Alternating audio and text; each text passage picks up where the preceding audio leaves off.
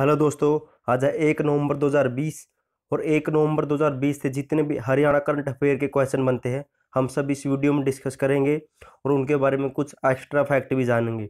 और लास्ट में आपके लिए एक मोस्ट डिफ़िकल्ट हरियाणा जीके का क्वेश्चन है, देखते हैं आपकी तैयारी किस लेवल की है, इसलिए वीडियो को ध्यान से देखिए। चलते हैं पहले क्वेश्चन पर। देश का पहला ऑनलाइन पशु उपचार केंद्र, ई पशु उपचार हरियाणा में कहाँ पर खोला गया है? तो इसका राइट आंसर है ऑप्शन ए नारनोल में। देश का पहला ऑनलाइन पशु उपचार केंद्र नार्मल, नारनोल में खेला गया है, खोला गया है। यह उपचार केंद्र है, इसमें हम अपने पशु की फ़ोटो या ऑनलाइन वीडियो वीडियो के द्वारा पशु को डॉक्टर से संबंधित जानकारी पूछ सकते हैं इसके तहत। और अब जानते हैं नारनोल के बारे में कुछ एक्स्ट्रा फैक्ट नारनौल को नंदीग्राम, गाँव नंदीग्राम भी कहा जाता है नारनौल को, और नारनौल नारनौल को विरासत का शहर भी कहा जाता है। भारत का सबसे बड़ा प्लास्टिक पार्क भी नारनौल में स्थित है। महेंद्रगढ़ का एकमात्र जिला और यह महेंद्रगढ़ में पड़ता है, और एकमात्र जिला जिसका मुख्यालय महेंद्रगढ़ न होकर नारनौल में महेंद्रगढ़ का मुख्यालय नारनौल में है। और साथ बात करते हैं महेंद्रगढ़ की तो महेंद्रगढ़ की स्थापना एक नवंबर उन्नीस सौ छियासठ को ही थी और महेंद्रगढ़ का पूरा नाम नाम है कनोड महेंद्रगढ़ को खनिजों का शहर कहा जाता है। और दोस्तों, मैं आपसे भी कहता हूँ, सुबह डेली मॉर्निंग में उठकर अपने लिए एक टारगेट फिक्स करो। चाहे छोटा सा टारगेट फिक्स करो, लेकिन एक टारगेट फिक्स करो और सारा दिन उसे अचीव करने में लगा दो। आपकी लाइफ ऑटोमेटिक अच्छी हो जाएगी। चलते हैं नेक्स्ट क्वेश्चन पर। Limca of Limca book of record ने देश का सबसे बड़ा धर्म चक्कर होने का सर्टिफिकेट हरियाणा के किस धर्म चक्कर को दिया है? तो इसका राइट आंसर है ऑप्शन ए टोपरा कला टोपरा कला को लिमका बुक रिकॉर्ड ने धर्म चक्कर होने का सब, होने का सर्टिफिकेट दिया है और यह टोपरा कला यमुनानगर में पड़ता है, यमुनानगर में। और इसका वज़न छः टन और व्यास तीस फुट और इसमें चौबीस तिलियाँ है, चौबीस तिलियाँ। और बात करते हैं नौ यमुनानगर की इसकी स्थापना एक नवंबर उन्नीस सौ नवासी को हुई थी। यमुनानगर को पेपर सिटी के नाम से भी जाना जाता है।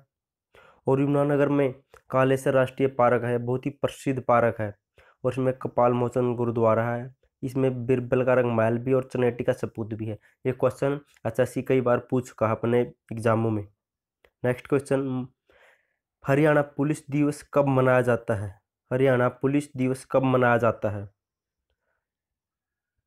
तो इसका राइट आंसर है ऑप्शन बी एक नवंबर को हरियाणा पुलिस दिवस मनाया जाता है। और हरियाणा पुलिस दिवस की स्थापना, और हरियाणा पुलिस की स्थापना एक नवंबर एक नवंबर उन्नीस को हुई थी।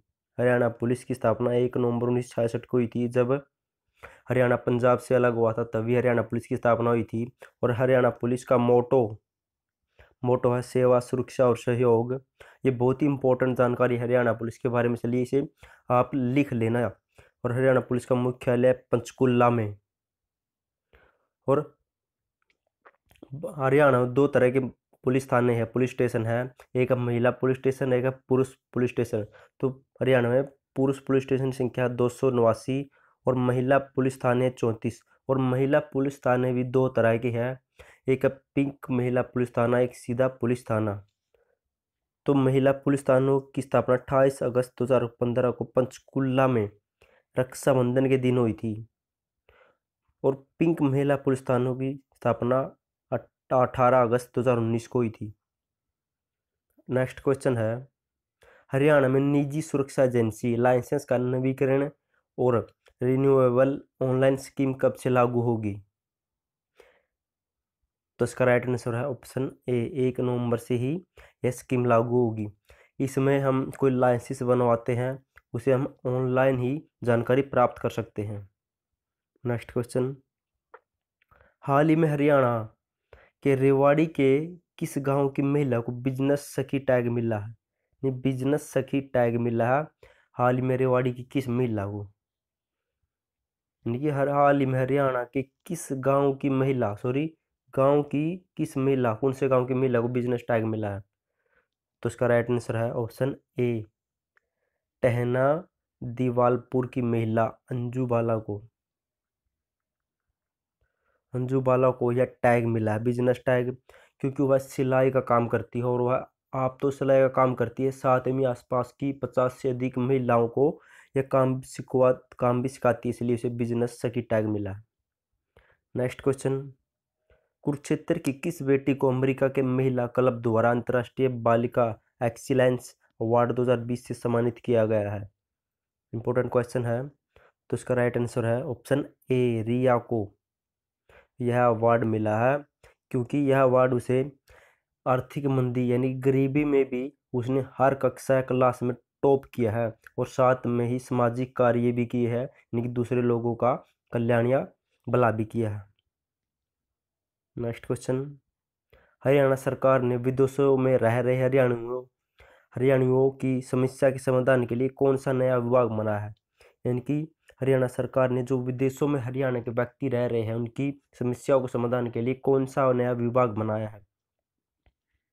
तो उसका राइट आंसर है ऑप्शन डी विदेश सहकारिता विभाग। यह विभाग बनाया हरियाणा सरकार ने विदेशों में रह रहे समस्याओं की समाधान के लिए और इसका फ़ायदा सबसे ज़्यादा उद्योग कर्मियों या उद्यमियों को होगा, क्योंकि वे इसके तहत अपने बिज़नेस को बढ़ा सकते हैं। नेक्स्ट क्वेश्चन है। हरियाणा सरकार ने हरियाणा राज्य विज्ञान एवं प्रौद्योगिक परिषद का नाम बदलकर बदलकर क्या रख दिया है? तो इसका राइट आंसर है ऑप्शन सी हरियाणा राज्य विज्ञान एवं नवाचार एवं प्रौद्योगिकी प्रसिद्ध रख दिया है, इसका नाम बदलकर। नेक्स्ट क्वेश्चन है। प्रदेश में बीमार पशुओं के उपचार के लिए पशुपालकों के घर द्वार पर ही इलाज के लिए कौन सी सुविधा शुरुआत की जाएगी? इनकी प्रदेश में पशुओं के उपचार के लिए पशुपालकों के घर पर ही इलाज करने के लिए कौन सी सुविधा शुरू की जाएगी? तो इसका राइट आंसर है ऑप्शन ए पशु संजीवनी सेवा शुरू की जाएगी पशुओं के उपचार के लिए, घर पर ही इलाज के लिए। दोस्तों, अगर आपको वीडियो पसंद आए तो लाइक और चैनल को सब्सक्राइब ज़रूर कर देना और साथ में वो घंटे का आइकन दबा देना ताकि आपको आने वाली वीडियो का नोटिफिकेशन मिल सके और आप वीडियो को देख सके। क्वेश्चन नंबर दस। हरियाणा ने केंद्र से चंडीगढ़ की किस यूनिवर्सिटी में अपनी हिस्सेदारी मांगी है? बहुत ही इंपॉर्टेंट क्वेश्चन है ये। हरियाणा सरकार ने चंडीगढ़ की किस यूनिवर्सिटी में अपनी हिस्सेदारी मांगी है? तो इसका राइट आंसर है ऑप्शन सी पंजाब यूनिवर्सिटी में हरियाणा ने अपनी हिस्सेदारी मांगी है। यह ऐसा क्यों है? क्योंकि उन, उन्नीस में, उन्नीस सौ छियानवे में पंजाब यूनिवर्सिटी में बावन, बानवे परसेंट, बानवे प्रतिशत केंद्र सरकार का सेंटर सरकार का था और चार परसेंट हिस्सा राज्य, पंजाब सरकार और चार परसेंट हिस्सा हरियाणा सरकार का था। लेकिन उन्नीस सौ छियानवे में बंसीलाल की सरकार ने इससे अपना हिस्सा वापस ले लिया, क्योंकि जिसका भी हिस्सेदारी होती है, उसे फंड देना होता है यूनिवर्सिटी को, लेकिन बंसीलाल सरकार ने इसे देने से मना कर दिया और उसे अपना हिस्सा वापस ले लिया। लेकिन अब मनोहर लाल खट्टर ने अपने उपराष्ट्रपति वेंकैया नायडू और इस यूनिवर्सिटी के चांसलर को एक चिट्ठी लिखी है उससे कहा कि हमें अपनी हिस्सेदारी वापस चाहिए। और सरकार ने यहाँ कोर्ट अब, ये केस अब हाई कोर्ट में चल रहा है। वहाँ पर हाई कोर्ट ने कहा कि इसे आठ करोड़ सालाना रुपए का जुर्माना देना होगा हरियाणा सरकार को। लेकिन हरियाणा सरकार कह रही कि हम बीस करोड़ रुपए दे सकते हैं यूनिवर्सिटी के फंड में। तो अभी ये केस कोर्ट में चल रहा है, देखते हैं क्या फैसला आता है। और लास्ट वीडियो का क्वेश्चन है, था, तोमर शासनकाल की जानकारी किस ग्रंथ में प्राप्त होती है?